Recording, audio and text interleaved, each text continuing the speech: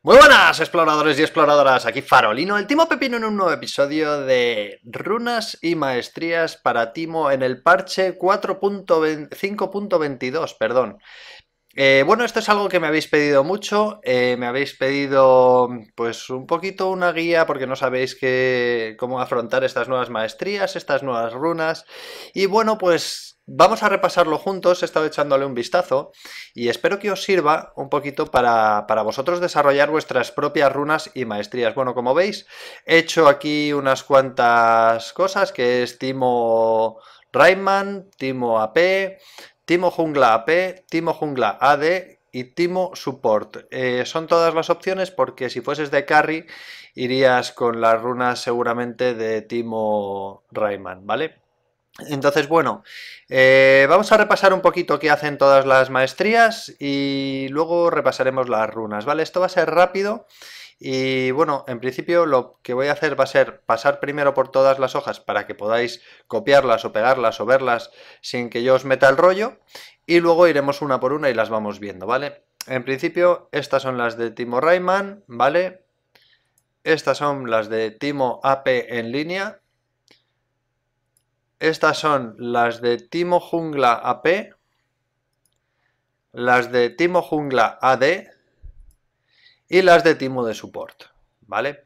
Tengo que decir que estas no son las mejores runas eh, o maestrías en esta guía, simplemente son las que a mí me gustan, ¿vale? Entonces vosotros podéis eh, modificarlas, podéis cambiar cosas, podéis discutir conmigo en los comentarios, podéis decirme, oye tío, yo creo que te has equivocado, creo que en este aquí tienes que ponerte este punto porque es muy importante, o creo que este de aquí te sobra, eso me lo comentáis en los comentarios si mm, queréis, entramos en la discusión, y yo os explico también, os voy a explicar en esta guía un poco por qué tomo cada decisión, ¿vale? Empezamos por las de Timo Rayman, que son Timo AD en línea, ¿vale? Nos hemos puesto en este caso Furia, que son 4% de velocidad de ataque. Eh, mejor que el daño de hechizo y el poder de habilidad, porque vamos a ir a D, ¿vale? Entonces aquí no hay discusión, sería 4% de velocidad de ataque. Aquí puedes elegir o hacer más daño, ¿vale? Y recibir más daño, o eh, curarte. Como la build de Timo Rayman se basa mucho en el sustain en la línea, ¿vale? Y echar al otro a base de ir pokeándole ir curándote, pues hemos elegido el festín. En la siguiente, lo mismo. Eh, puedes elegir o daño de ataque y poder de habilidad o robo de vida. Esta build se basa mucho en el robo de vida porque nos vamos a hacer de primeras las tres espadas de Donan y luego la hoja del rey, con lo cual pues vamos a tener este, este vampirismo por encima del talento natural.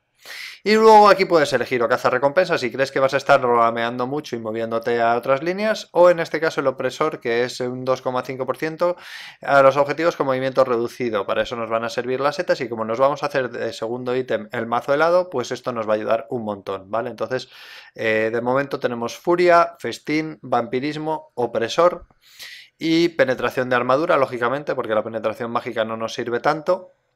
Y aquí eh, pues hay un poquito una opción que se puede discutir, es decir, vamos a ver, los impactos críticos sanan un 15% del daño infligido, como nuestra build no va a tener mucho crítico, prácticamente hasta que no nos hagamos el filo infinito no vamos a tener nada de crítico, esto queda descartado.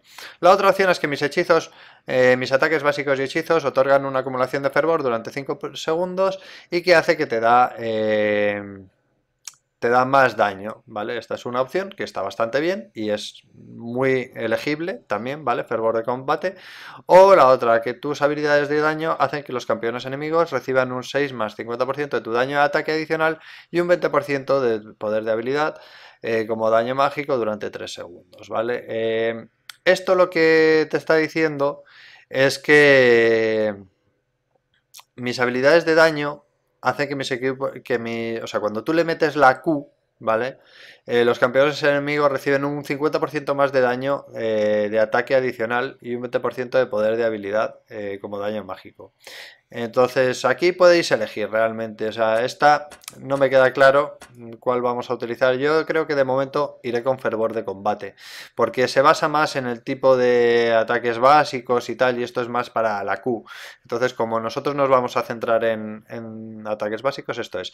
Y ahora, eh, sabéis que yo soy muy YOLO, que me gusta más hacer daño que que defensa, entonces bueno, pues velocidad de movimiento cuando no se está en combate, siempre bueno. Eh, esto podría ir curándome los ataques básicos, hechizos, eh, hacen más daño a... Esto te sirve para farmear mejor, ¿vale? Como yo farmeo creo que bastante decentemente, pues mm, puedes elegir, pero vamos... Mm, esto sería un poco libre elección, ¿vale? A mí me gusta más este, pero eh, no estaría tampoco nada mal ponerte la fiereza, podría ser perfectamente asumible. Vale, este aquí, las pociones frascos dan más, porque esto es para la jungla, y entonces al hijo secreto, y sin piedad aumenta el daño a los campeones que están bajo de vida, ¿vale? Esto regenera maná, que no me sirve, y esto obtener una de oro por cada súbdito, súbdito que sea eliminado, o los campeones, eh, por los campeones aliados, si obtienes 3 de oro extra, al golpear a un enemigo. Esto lo que me hace es, eh, vamos a ver, aquí puedes,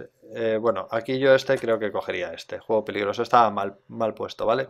Juego peligroso, matar a un esto, te restaura vida y maná. Hay mucha gente que esta habilidad no la entiende, el poder que realmente tiene y es muy, muy importante. ¿Por qué? Porque muchas veces eh, pasa que vas a matar a uno y él te mata a ti y, y, morís los dos a la vez prácticamente, o matas a uno y luego te deja el ignite y te mata. Esto te salva la vida muchísimas, muchísimas veces, ¿vale? Entonces, en este caso vamos a elegirlo. ¿Por qué? Porque tú le matas y en el momento en el que muere automáticamente recuperas un 5% de la vida. Entonces eso muchas veces hace que él, que te iba a matar, directamente no te mate. Y muchas veces eh, trunca eh, los cálculos de daño que tiene él. En plan, si hago esto, le mato. Y entonces él se tira tal, tú le matas a él, te curas lo suficiente y no, y no mueres. Y entonces es cuando dice, ¡jo, qué suerte has tenido! ¿A cuánto te has quedado de vida? No sé qué. No. Esto es por tener juego peligroso, ¿vale? Entonces esta habilidad importante, ¿vale? No quiero perder más tiempo, vamos a pasar directamente a la siguiente a la siguiente build, ¿vale? Estimo AP, ¿vale? Aquí vamos a poder de habilidad, brujería, eh, hacer más daño, ¿vale? En este caso nosotros no nos vamos a estar curando, no nos basamos en curar, esta build es muy basada en el daño, ¿vale? Entonces, poder de habilidad, hacer más daño, más daño todavía, no nos vamos a curar. Este de aquí, hacer más daño a los que tienen ralentizaciones porque vamos a tener el relay y vamos a tener las setas, con lo cual esto nos va a servir igual.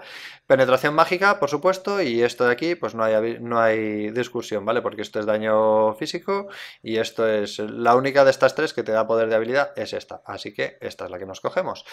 Y a partir de ahí, pues trotamundos, movernos más rápido para poder ramear eh, las pociones y los frascos nos dan más, lógicamente, porque esto es solo para los bufos de la jungla, aunque podrías cogerte este si vas a ir de mid y, el, y sabes que tu jungla te va a dar los azules. O sea, por ejemplo, yo para ir de mid, para jugar con PPN, me cogería la afinidad rúnica, sabiendo que ese azul me va a durar un 15% más, eso está bastante bien.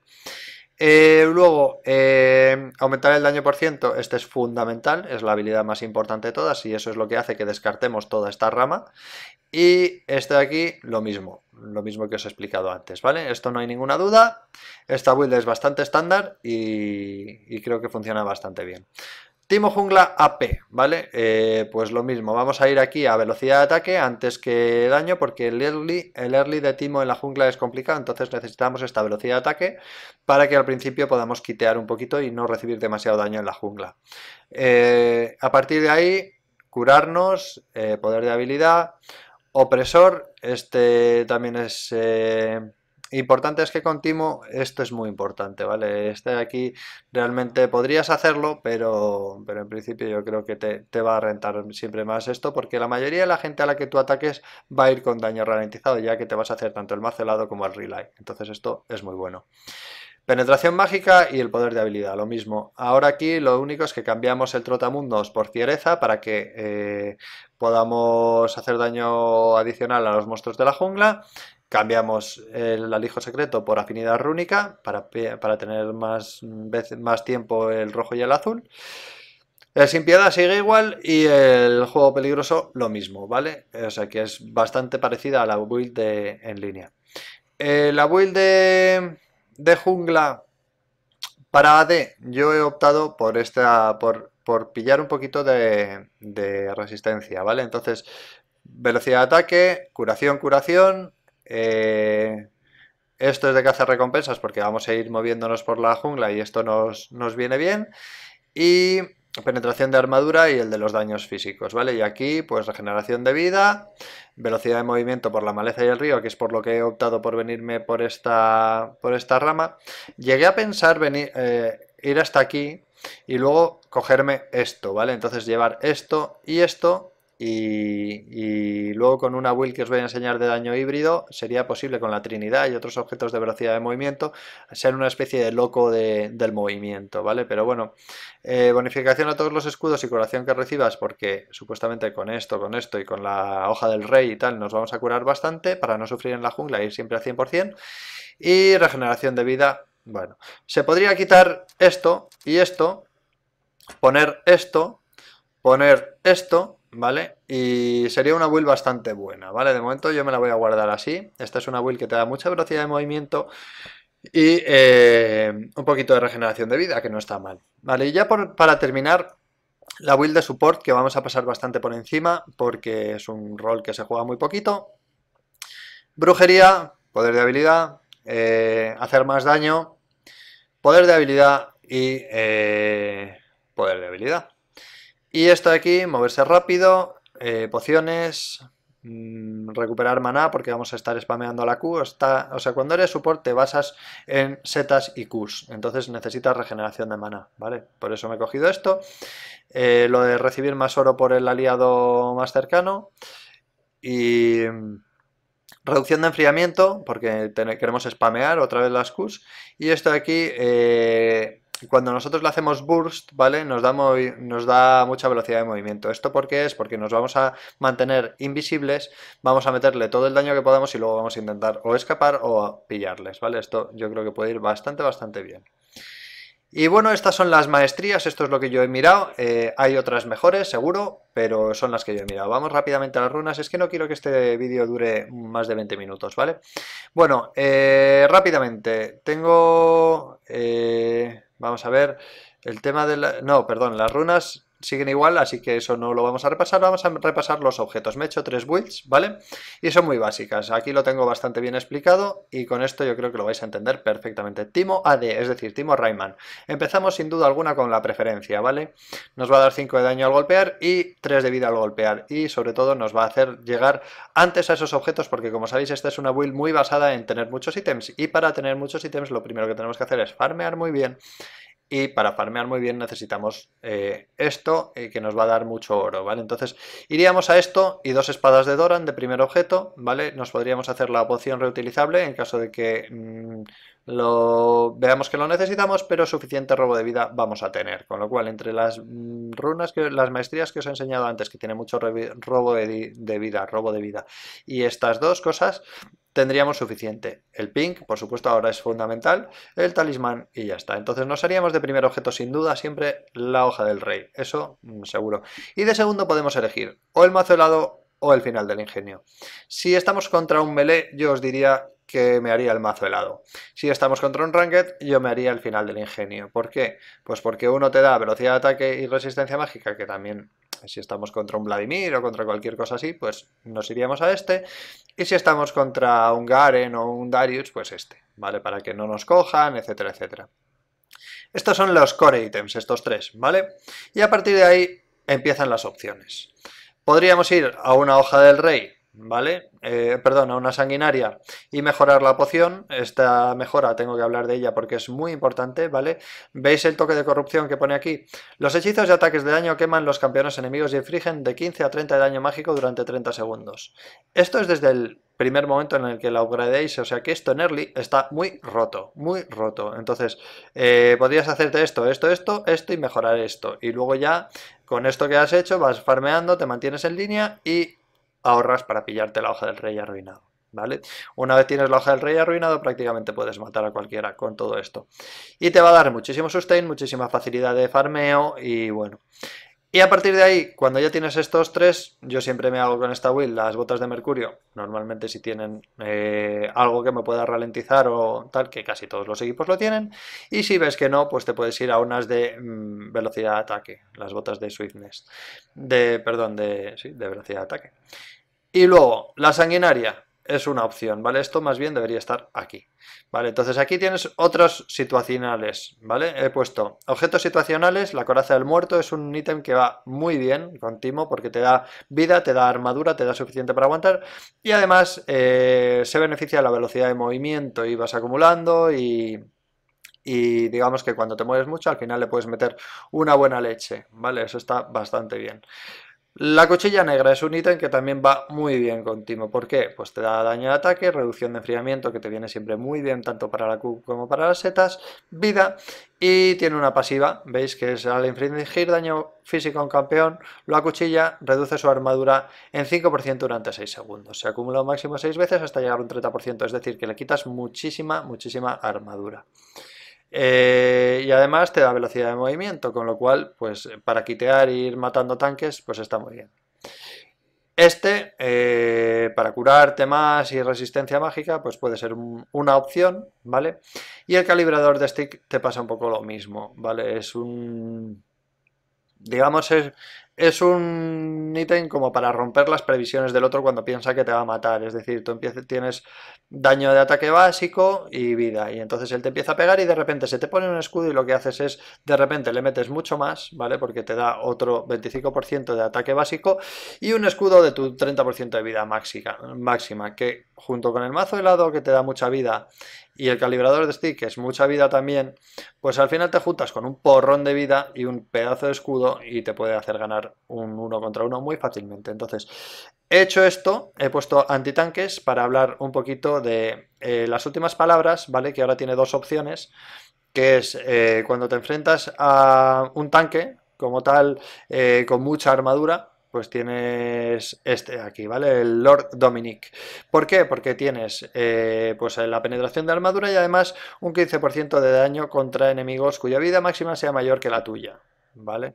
Con un máximo de diferencia de 500, es decir, cuanta más vida tiene en comparación contigo, más daño le haces, y además la penetración de armadura, esto para Garen, Darius, todos los titanes va fenomenal. Y este para ir contra Vladimir, que ahora lo que te hace es que puede dar heridas graves. ¿Qué significan las heridas graves? Que no se cura tanto, ¿vale? Esto, este es un ítem que ahora me parece fundamental para muchísimos, muchísimos campeones que se curan un montón, ¿vale? Entonces, eh, si tú vas contra algo que se cura mucho, te pillas esto.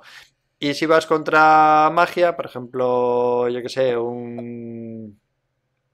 No sé, una Nidalí o cualquier cosa así que te esté fastidiando con daño mágico, una, una eh, Lisandra en top o lo que sea, te harías un sorbe maleficios y lo upgradearías a una Malmortius. Entonces, en resumen, esta build es muy sencilla, hoja o sea, los iniciales son estos, hoja del rey, eh, final del ingenio y mazo helado, esto siempre, unas botas, a elegir y yo seguramente eh, vaya a optar por eh, una cuchilla negra, que me gusta mucho, y eh, una sanguinaria. ¿Vale? la sanguinaria te da muchísimo daño de ataque también, entonces, bueno, pues si las cosas van bien, si tienes que jugar más defensivo, pues a lo mejor me iría un calibrador de stick o una coraza del muerto. Eso ya, y luego si tienen un tanque super tanque, pues el Dominic.